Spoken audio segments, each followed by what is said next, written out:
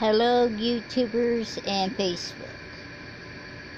That over there was going to be a tote bag with three strands, but it took up too much yarn, and as you see, it didn't go far. So I am doing it to a one strand, and I'm going to make a corner to corner blanket. Now, that pretend that square is not there, I wouldn't increase on that side, it would go straight up.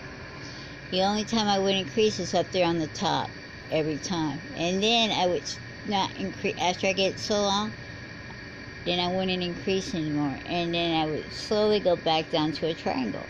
That's why they call it corner to corner.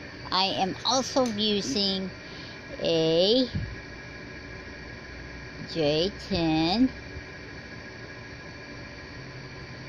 I can't get this camera to focus unless I bring it up too close, but it's a J10 6 millimeter. I'm sorry, my camera does not focus whatsoever. Unless you got it in a certain light and angle, but yeah, it's not going to get any better than that. J10 6 millimeters hook.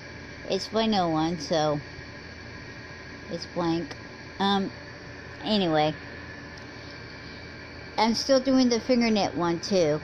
But I have many projects going on, and the hat, the black hat, I had to recrochet to a H hook. But anyway, I just thought I'd briefly show you some crochet projects I got going on. This may be a throw or a small twin blanket when it's done, depending on how many scraps of yarn I can get. Alright, talk to you later, bye.